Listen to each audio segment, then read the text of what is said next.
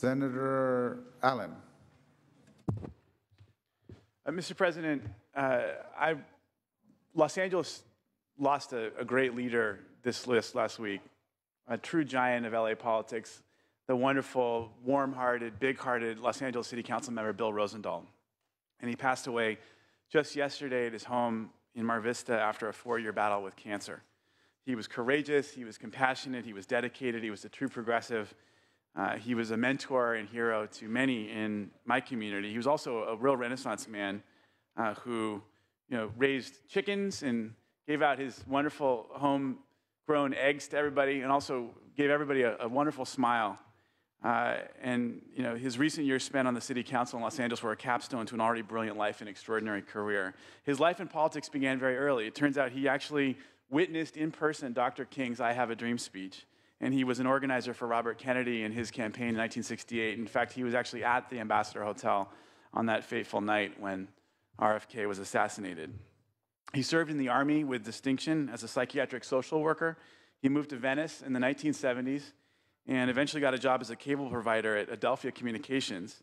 And over the ensuing years, he became you know, an extraordinary TV talk show host. And his show on, on cable became the go to station for politics and for community affairs and discussions. Everybody who wanted to reach voters, anyone who wanted to get their message out in our community got onto TV and interviewed with him. And this was an era long before the talking heads on CNN and MSNBC and Fox News. He was the guy that you had to go talk to on the west side of LA. Of course, he eventually put down his microphone and, be and became a candidate himself. And he was sworn in as the very first openly gay man to win a seat on the Los Angeles City Council. And for close to a decade, he confronted injustice as an elected official with the same bravery and fierce humanity that defined his life. He strove to act from a place of compassion and understanding. His presence and style embodied Westside politics. He was a wonderful uh, people person, incredibly gregarious, and his legacy is so alive today. He was a leader, a public servant, a man who I will personally miss a great deal. And I ask that the Senate respectfully adjourn in the memory of Bill Rosendahl. Senator Mitchell on this item. Thank you very much, uh, Mr. President. I too would like to lend my voice uh, uh, to the chorus who will be remembering Bill for all of his um, uniqueness and work and commitment he brought to Los Angeles. He lived in Mar Vista, a part of which is in the district I have the uh, opportunity to represent and he participated in that community's proud tradition of eco-urban planting and animal husbandry. He took delight in presenting colleagues and constituents and myself eggs from uh, the chickens the, that whom he shared his backyard. That was always delightful to get an egg from Bill Rosendahl. As an incumbent councilman, he um, honored me by supporting my first run for office, and for a while, his council district and the assembly districts I represented um, overlapped at our offices, and we had the opportunity to work together on a number of projects. He was proud of being a liberal among progressives, advocating for those living in poverty and for those living with HIV. Out, outspoken, and sometimes outraged, Bill joined LA City Council as an outsider and promptly threw the doors open wide, inviting people in who had never felt welcome or visible there before. He argued that everyone deserved a seat at the table and was often the voice of those not present in the halls of power, yet ever present on the streets of Los Angeles. One of the last times I saw Bill was at my own church um, in South LA, Holman United Methodist, when he, along with others from the AIDS Healthcare Foundation, came in support of vigorous outreach to African Americans at risk for HIV. Some leaders across the divide between communities, because it's smart strategy, because it's the right thing to do, but sometimes people find joy in touching and being touched by the humanity we all share, and that was Bill. Bill did some of all of that, but what I will miss most in him and in my world is that full face grin. He made you happy just being in his presence.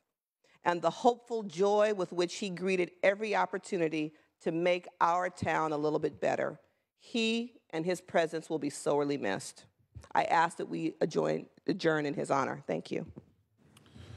Thank you, members. Please bring our council member's name forward so that he may be properly memorialized and may he rest in peace, a true icon and true public servant for the great city of LA. Senator, Senator Allen, do you have another adjourn memory? Yeah, I'd like to also uh, rise to adjourn in memory of Ken Howard, who was a Tony and Emmy Award winning actor. He passed away on March 23rd at his home near Los Angeles, just days before his 72nd birthday. Uh, perhaps best known for his work on the television series The White Shadow, he was featured in numerous other classic shows and films. Uh, survived by his loving wife of 25 years and three adult stepchildren, Ken's other family was his acting family. Now, many folks know that Ken was a very devoted and respected leader, in fact, president of, the SAG, of SAG-AFTRA. He was first elected to the Screen Actor Guild National Board of Directors in, in 2008, and he became president of the union in 2009. It was under his leadership in 2012 that, that the merger of SAG and the American Federation of Television and, and Radio Artists occurred, strengthening and amplifying the voice of 160,000 actors, broadcasters, and other workers. He also taught master classes at the American Repertory Theater Institute, helping to train the next generation of actors. And as a kidney transplant recipient, he helped to pay it forward by supporting and becoming a chancellor of the National Kidney Foundation. So, from his days as a high school basketball star to his starring roles on the screen and his distinguished service on behalf of actors across the nation, Ken Howard was very talented and beloved by all that knew him. Another loss for the wonderful city of Los Angeles, and we a- I ask that we adjourn in his memory.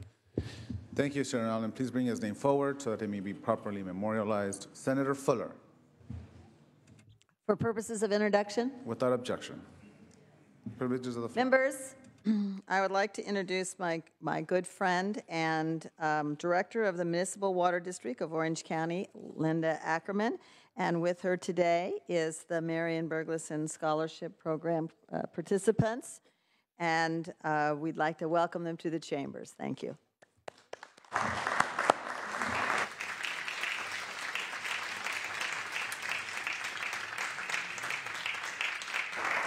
We hope they'll be filling our shoes one day.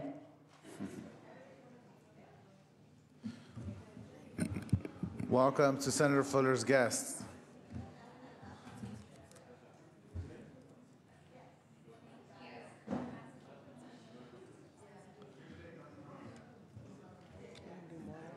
Yeah, I'm gonna.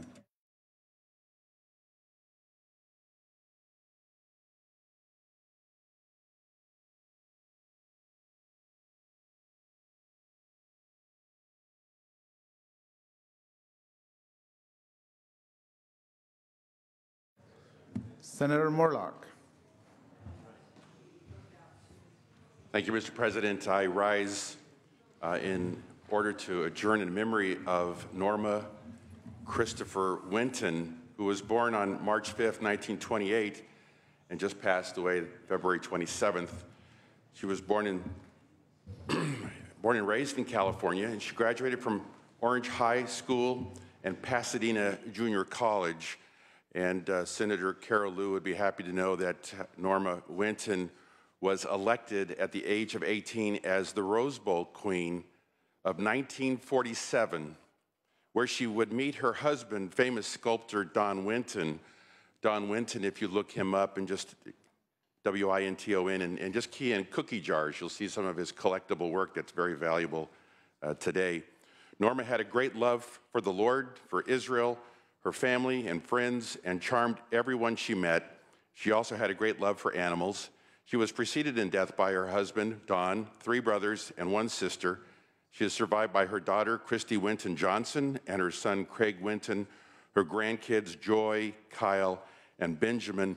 Uh, Don and Norma were clients. I always referred to her as Norma C. and had fun uh, with her in that regard.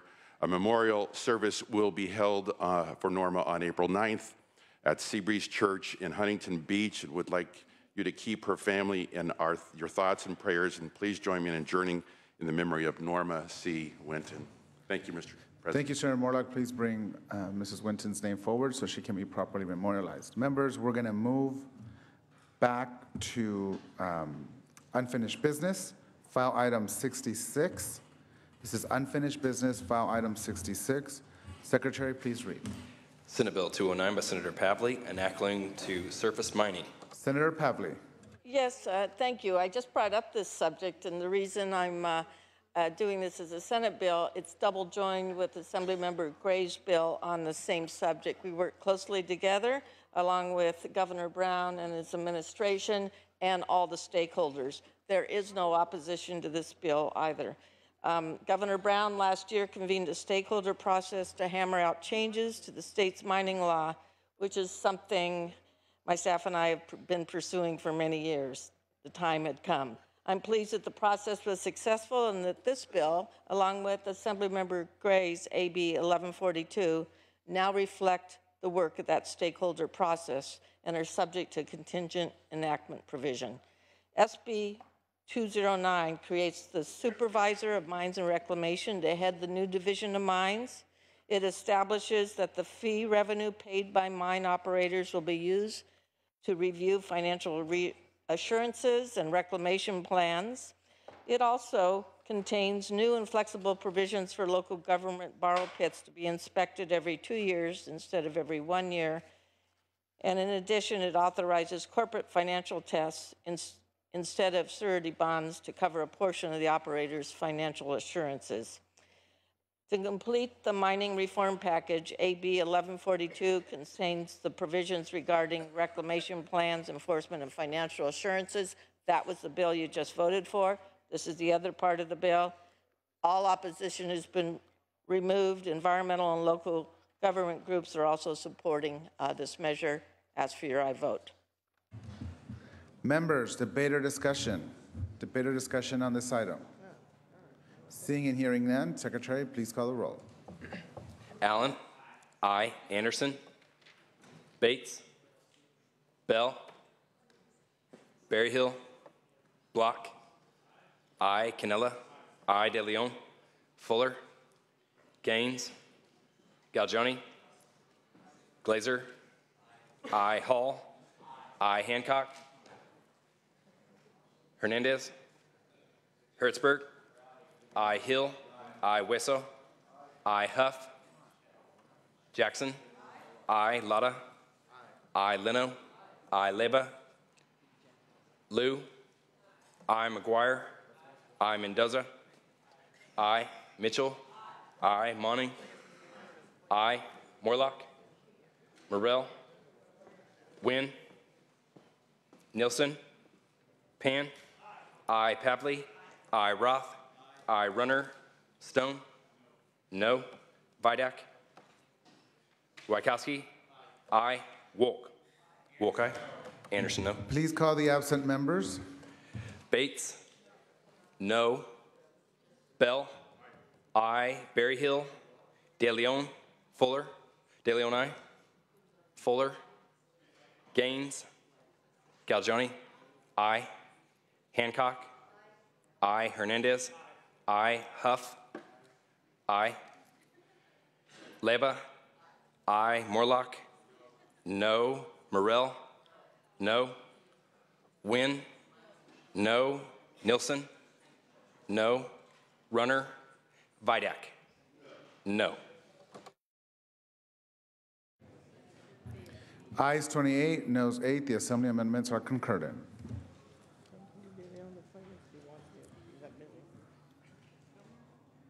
Members, we're going to move to governor's appointments. That's file item 59, members. File item 59. Senator De Leon. Thank you, Mr. President. Uh, Colleagues, file item number 59, we have James uh, Barthman, uh, Rajesh uh, Patel, and Pedro uh, Santillan. Uh, Both Mr. Barthman as well as Mr. Santillan are being reappointed to the Board Building Standards Commission.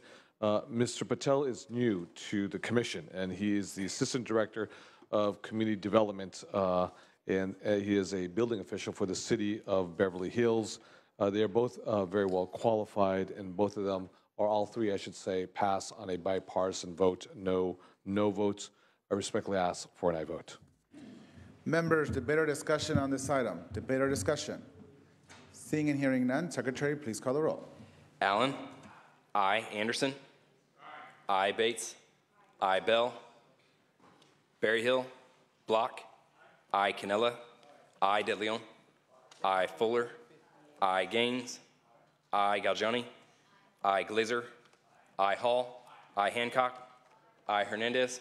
I. Hertzberg. Hill. I. Hueso. I. Huff. I. Jackson. I. Lara. I. Leno. I. Leyva. I. Liu. I. McGuire. I. Mendoza. I. Mitchell.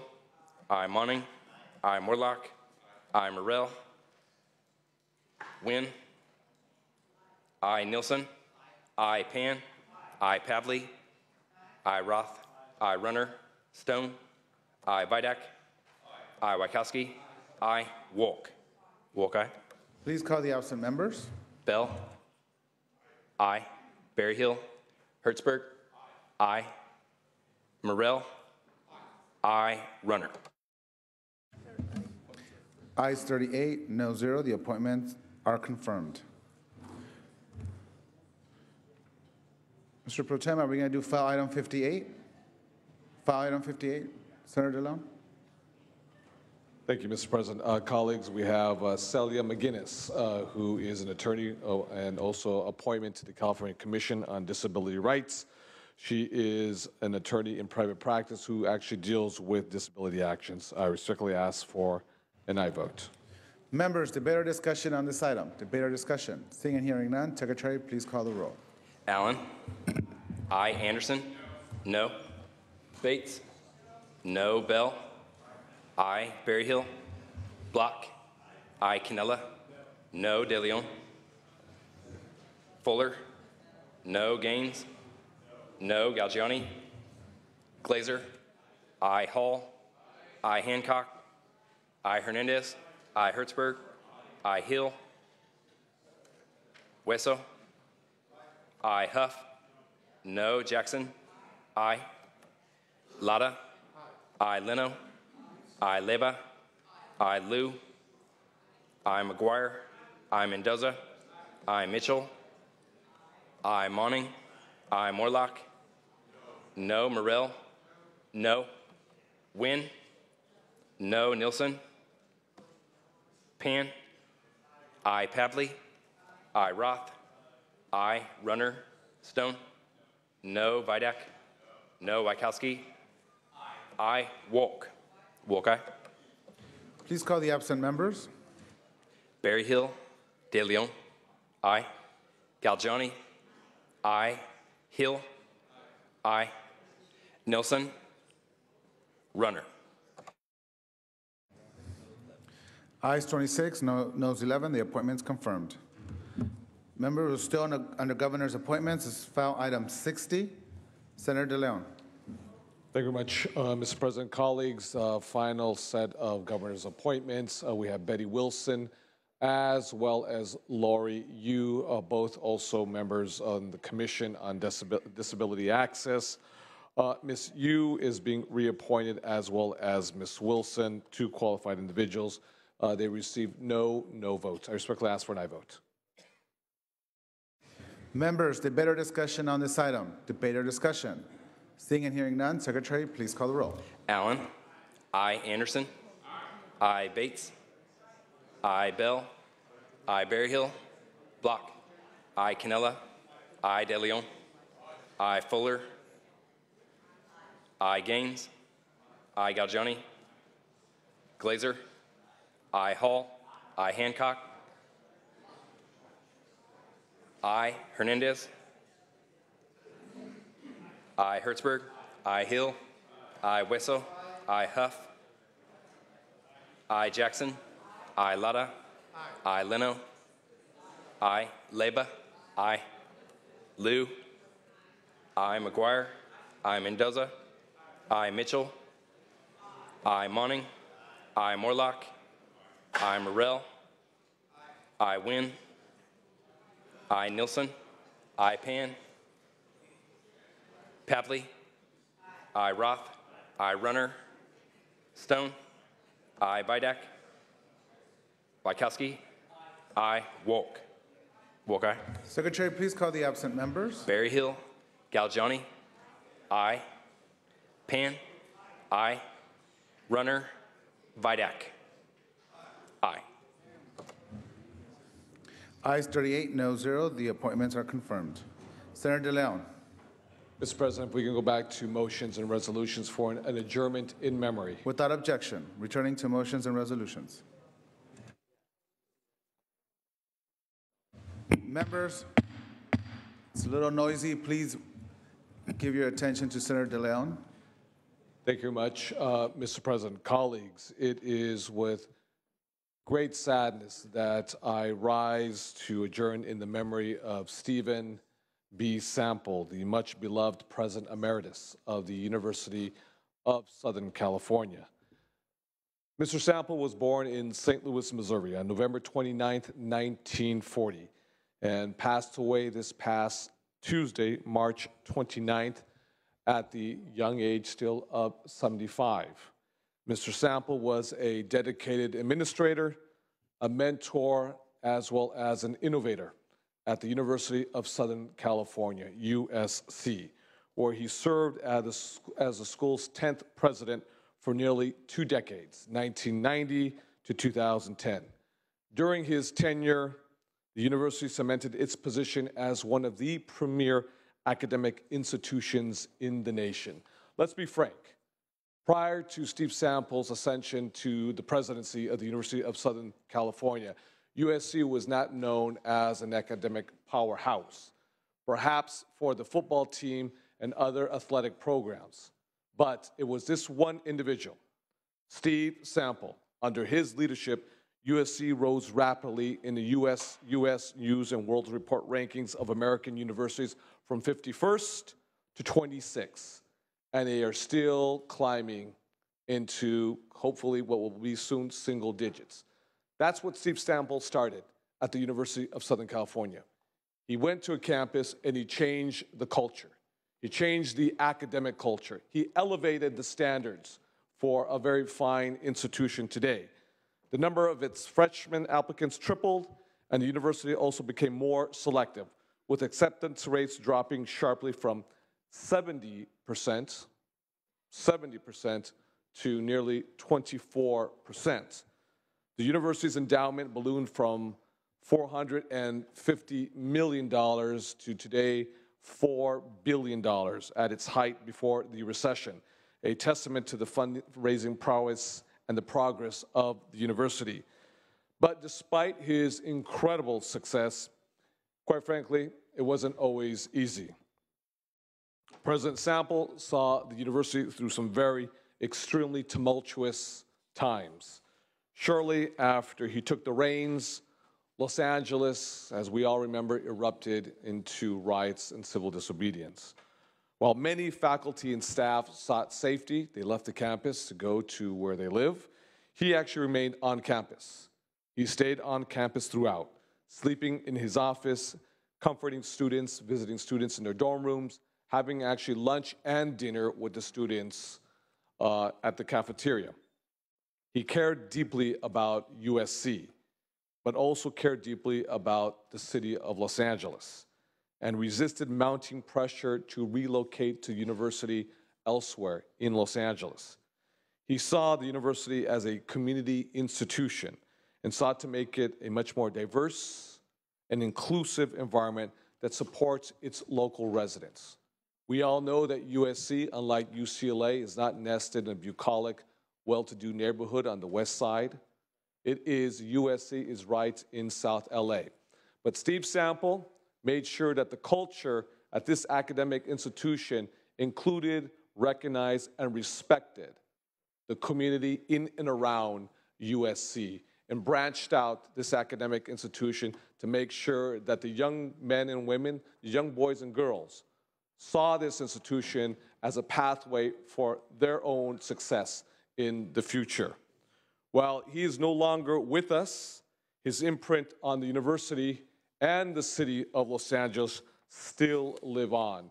Now, Steve Sample was a good friend of mine. And I had the honor of uh, developing a relationship with Steve and working with him on various initiatives when I was in the state assembly. Now I work a lot, as many of us do, with Mr. Max, uh, Max Nikias. But Steve truly was an incredible pioneer, a Midwesterner, like so many Midwesterners who migrate to California for opportunity and for hope. And he brought opportunity, he found opportunity, I should say, and he instilled hope in many young men and women. Also, too, the University of Southern California has more international students from any, from more than any other academic institution in the United States of America and perhaps the entire world. That is done with intentionality. That is done with selecting certain board of trustee members and bringing individuals and other students from all over the world that actually greatly enhances this academic institution. It's a major loss uh, for the nation, for California, for Southern California, Los Angeles, as well as a great institution like USC. Now, he is survived by his wife, who happens to be his college sweetheart, Catherine, their daughters, Michelle and Elizabeth, and two grandchildren.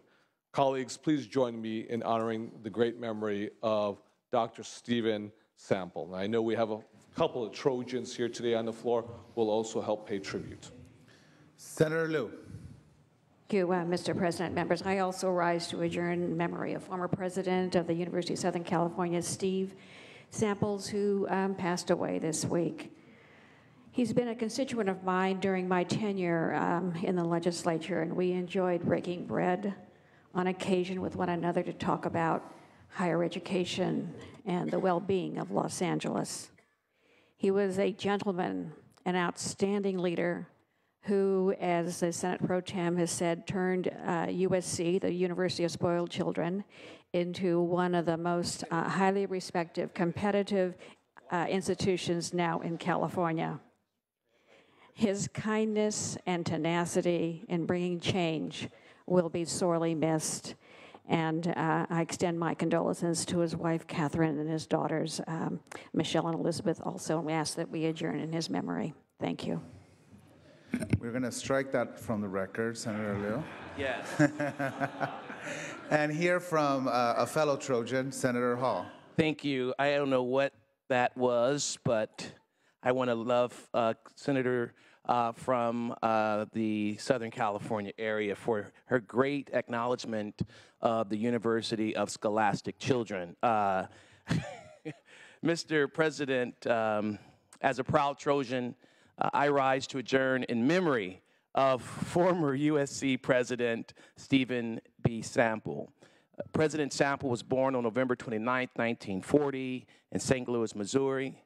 In 1991, President Sample left the State University of New York at Buffalo to become the University of Southern California's 10th president. And during his time as president of USC, the university, as Speaker Pro Tem mentioned, flourished. USC rose from 51st to the 26th in the United States. News and World Report's university's ranking. Applications tripled, and a USC chemist won a Nobel Prize. More importantly, uh, President Sample resisted the calls to move the university following the Los Angeles riots in 1992. Instead of giving into fear, as other universities had done following previous events, President Sample insisted that USC remain an anchor and an anchor institution in Los Angeles. Because of his vision and his leadership, USC continues to give back to their community through volunteerism and philanthropy, uh, continue to show and improve uh, a diversity of a campus that reflects what California reflects. And at a time when just this week we saw a JLAC report that shows our very own UC system is failing as it relates to the admissions of minorities. USC continues to thrive in the admission of minorities and one of the highest admissions of minorities in the United States of America. President Sample uh, retired from the University of Southern California in 2010 and at the age of 69 but continue to stay actively involved with the university. I ask the State Senate to adjourn in his memory. Thank you, and I'm quite sure on behalf of Ricardo Lara, as well as fellow Trojan, uh, fight on. Thank you, Senator Hall. A tremendous loss to our Trojan nation. And uh, please, um, Mr. Pro Tem, bring President Sample's name forward so that he may be memorialized um, by our California State Senate, and may he always fight on.